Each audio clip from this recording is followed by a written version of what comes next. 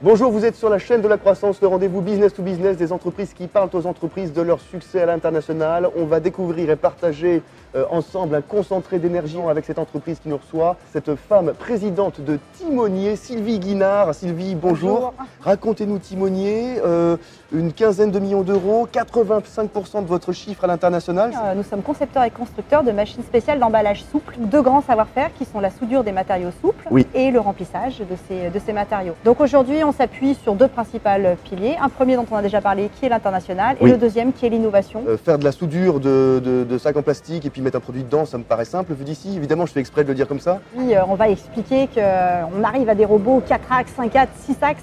Euh, Sur une machine, chez nous, on est à 58 axes.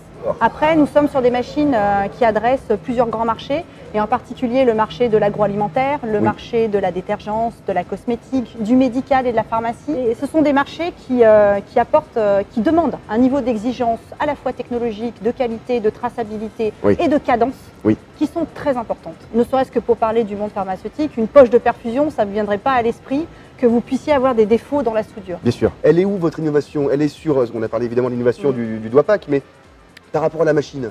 Alors, je dirais, l'innovation sur les emballages s'est faite surtout à une époque où rien n'existait. Aujourd'hui, euh, nous ne faisons pas des emballages, nous Oui. faisons vraiment la machine. Donc nous, aujourd'hui, le, le cœur de notre savoir-faire, c'est ce qu'on va mettre comme technologie dans la Dans la machine. machine, on est Et en particulier, c'est vraiment sur les savoir-faire qu'on a, qu'on a généré avec le temps, sur la, la maîtrise de toutes les technologies de soudure existantes, donc euh, que ce soit par haute fréquence, euh, par ultrason, par impulsion, par induction, par euh, thermique ou autre, et que ce soit sur le remplissage, Oui. pour pouvoir aussi bien doser des produits très liquides que des produits qui vont mousser, des produits qui vont être avec des morceaux, des produits qui Ah, vont être pâteux, des produits qui vont être collants. Comment votre proposition valeur vous permet d'être unique sur un marché que j'imagine là aussi concurrentiel? Alors, on a plusieurs, plusieurs cordes à notre arc. On Oui. est vraiment sur la machine spéciale. On va faire la machine qui est vraiment adaptée aux besoins À la demande. client et à son process. Euh, mais là, en l'occurrence, nous, on va proposer une euh, solution de valeur et d'excellence technologique permettant au client de rentabiliser sa machine beaucoup plus rapidement. Et ben nous, on va fabriquer une machine qui est conçue pour sa production à lui, Oui. pour son environnement à lui.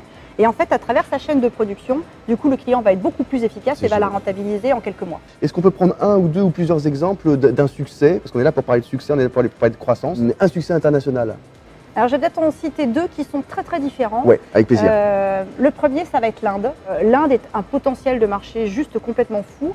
C'est encore un pays qui, euh, jusqu'à peu, était habitué à boire le lait directement au pied de la vache, donc avec un goût de lait cru. L'Inde présente aussi la particularité d'avoir une chaîne du froid qui est très peu existante et un pays de transformation qui est assez faible. Donc- Et donc, nous, on arrive avec une solution qui permet au pays de Ah. pouvoir transporter le lait en s'affranchissant de la chaîne du froid parce qu'on est sur de l'acétique, en étant sur un conditionnement qui est excessivement peu cher puisque c'est du souple et qu'il y a très peu de matériaux d'emballage et euh, qui permet à un pays comme l'Inde de pouvoir continuer à alimenter en lait les populations citadines. Bon, il y a Oui. déjà un mode de pénétration qu'on utilise euh, depuis fort longtemps maintenant, qui sont des agents multicartes. Ok Donc ce sont des, des contacts qu'on a, qu'on a créés à travers des, euh, des échanges business, à travers des salons. On a la chance d'avoir un nom qui est connu et reconnu. On a parlé de l'Inde, euh, le marché américain, comment vous l'avez abordé Un industriel américain est venu nous voir. Il venait vraiment chercher un acteur qui sache être à l'écoute de ses besoins, Oui. qui sache adapter euh, l'outil de production à ses propres euh, envies. C'est un acteur qui est en très très forte croissance d'ailleurs. Et un industriel qui soit prêt à l'accompagner dans sa croissance et à l'accompagner dans ses besoins d'évolution. Et d'avoir un acteur euh, sur place qui a une envie de lancer un produit et qui, de manière volontaire, vient chercher de la technologie française, euh, eh ben, non seulement ça fait, je dirais, du bien vis-à-vis de, de l'ego de l'entreprise, parce qu'on est identifié en tant que tel, en tant Oui. qu'acteur, mais ça fait du bien aussi parce qu'on sait tout à fait y répondre. Si on devait retenir, Sylvie, euh, un facteur clé de succès, Alors, la croissance pour la croissance, ça m'intéresse pas. Euh, déjà, ce qui m'intéresse, c'est pas le chiffre d'affaires, ça va être la rentabilité de l'entreprise. Oui. Parce que la première, euh, le premier objectif, c'est d'arriver à créer de la valeur. Oui. Et moi, ce qui m'intéresse, c'est de pouvoir la partager. Oui. La deuxième chose, c'est que j'ai pleinement conscience qu'aujourd'hui, les principaux concurrents que nous avons sur les marchés sont beaucoup plus gros que nous. Oui. Et donc, si aujourd'hui, moi, je travaille vraiment la croissance de Timonier, vous l'aurez compris, c'est pas pour le chiffre d'affaires, mais c'est pour atteindre une taille critique je comprends. qui nous permet, euh, en tant que- qu'acteur euh, innovant, de pouvoir attaquer déjà de front plusieurs sujets en même temps parce que j'aurai suffisamment de force vive en termes d'acteurs pour pouvoir le faire, et puis d'atteindre une certaine taille critique qui nous permette aussi de pouvoir euh, euh, bah, répondre au mieux aux clients. Merci beaucoup Sylvie Guinard, j'ai passé un excellent moment en votre compagnie, on a partagé énormément de choses. Euh, chers amis, je vous euh, remercie pour votre fidélité. Continuez à nous poser toutes vos questions sur fabricantdecroissance.com et sur les réseaux sociaux, sur LinkedIn, sur Twitter. Pardon. Je vous remercie, je vous dis à la semaine prochaine pour des nouvelles aventures de fabrication de valeur et non pas de croissance, comme on l'a dit aujourd'hui avec Sylvie Guinard. Merci beaucoup, à très bientôt.